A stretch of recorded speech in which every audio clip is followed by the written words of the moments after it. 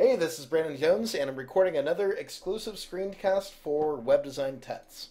Uh, today we're going to be looking at batch processing in Adobe Fireworks. Uh, specifically, we're going to be looking at whether or not we get file savings or file size savings uh, versus doing the same thing in Photoshop. Now, in full disclosure, uh, I've been designing for almost 10 years on the web. Um, it's taken me a really long time to even consider using Fireworks.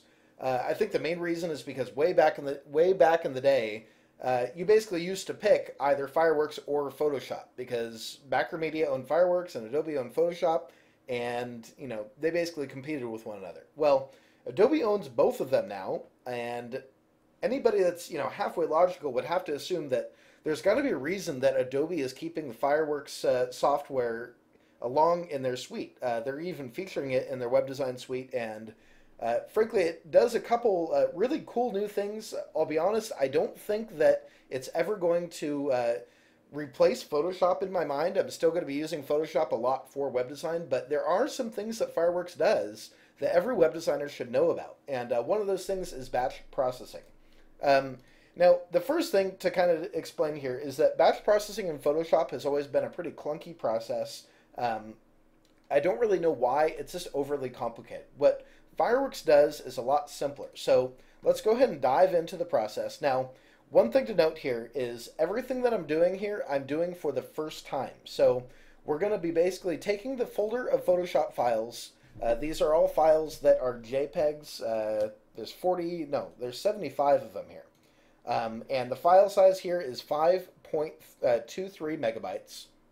And we're going to run an experiment, and we're going to see if, uh, when we do batch processing on these, if we get file size savings in Fireworks as opposed to the original files in Photoshop. Now, obviously there's going to be a little bit of a reduction anytime you save a JPEG twice. The size goes down just a little bit. Um, what we're looking for is something significant. And I think anything significant would be like over 10%. So uh, we're going to run this experiment and see how it goes. So let's dive in. We're going to hit File, go down to Batch Process, and we're in this tutorial. Now, these are all images from a tutorial that we're actually publishing on Web Design Tuts. Uh, so this is all stuff that you're going to see on the site later on. Um, I'm going to hit Next. Now, when you're in Fireworks, there's a couple different options that you have uh, for batch processing. You can automatically scale and crop things. You can find and replace text. Uh, there's basically a bunch of different stuff that you can do. Um, I'm sure there's stuff that I haven't even discovered at this point. What we're going to be doing today is export, right? So we're going to click export and hit add. Once we've hit export, we're going to go down and we're going to set the settings. Uh, we're going to start with JPEG better quality. Uh, obviously, there's other options that you can use here. Uh, then I'm going to hit edit because I want to tinker with things a little bit. I want 85%. I don't want 80. Um, it's just something that we do on Web Design Tuts. We like it at 85. Uh, obviously, the preview is invisible because we selected a lot of files. It's not just using one. I'm going to hit OK. Now I'm going to hit next.